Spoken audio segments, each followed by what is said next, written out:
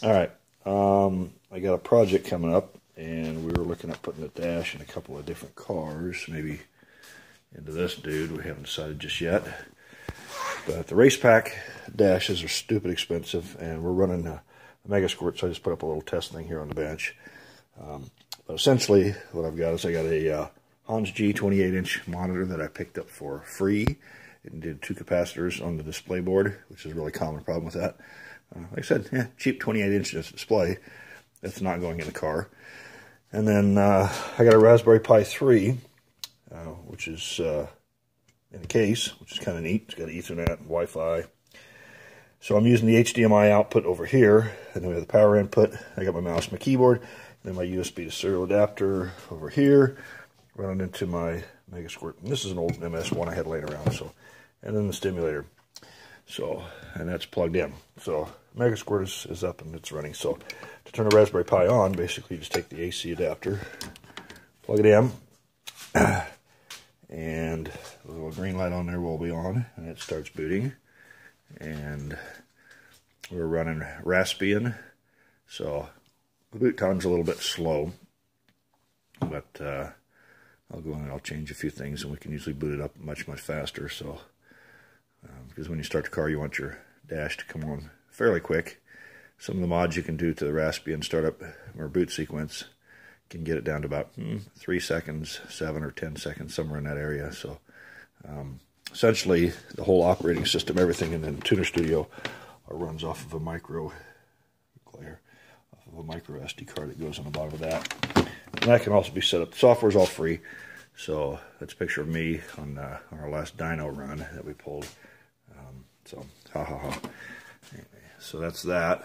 So we're up here to the Raspberry, and we'll go to other Tuner Studio.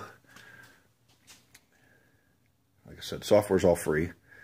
Um, so, kind of a cool deal. You know, thinking about putting a 7-inch touchscreen on uh, um, on a dash. So, the touchscreen, uh, you get them off eBay for about, I don't know, 40 bucks. Um, so we'll open up uh, the MS3 example project.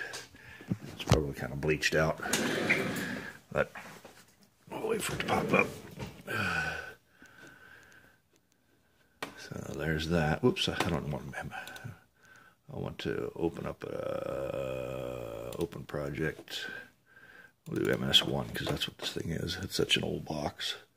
Does well. So we'll read that. And it goes online, which is cool.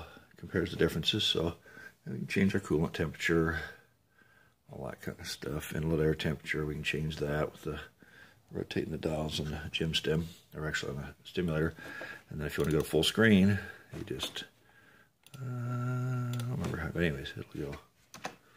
So that's pretty much how you set it up uh, and run. And you can get into all the normal tables, so all the required fuel and whatnot. 350, 30 pound injectors, 14.7 to 1. And then you can hit burn if you change anything. You can see your three dimensional plot. There's the uh, fuel table. Kind of cool. I can go up here and go down to spark table. And there's a spark table that. You can go over here and you can look at your oh the fuel tables up here. There you can see it. Very, very large RPM along the bottom and KPA up the other side.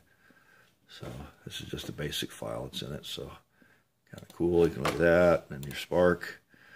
Uh, Spark table one down here. We'll make that big full screen. So if you want to change something, let's say you want to add it's a little bit rough, you know, we want to add some fuel down there so we can multiply it by 1.1, which would be 110%. Oops, number's lock 1.1. That'll add 10% fuel down to that section. So I bumped it up.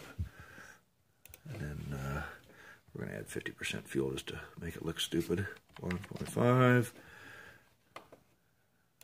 See, okay, so you can see now it just jumped back up. You can do that. And then also, if you go over here to the tuning section, while it's running, you can uh, you can click on a cell. In particular, we'll just pick one up in here, this red one. And let's say we want to add fuel. You can just drag it up whoops, drag it up, or you can pull fuel out. And while it's running, this little blue dot here will be bouncing. It'll move around down your idle, so you can grab a hold in there, click down in there, and pull some fuel out, or go in there and fiddle with all that kind of stuff, add, adding fuel. And then you just hit burn. And as far as spark, we can go back over here. Spark table one. That's way too big.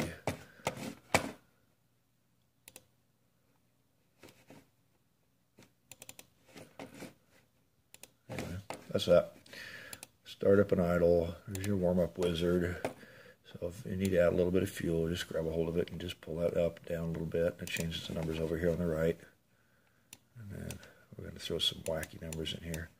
Just really mess it all up. You can see kind of what we're doing here. So then you go here, highlight all those, and then you can smooth it out if you want. But uh, that's pretty much it. Um, so you can you can set it to automatically boot straight into Tuner Studio. So and it's just one of the versions that I had. So, like I said, Raspberry Pi is about 35 bucks, including the plastic case. You get an SD card for about five bucks.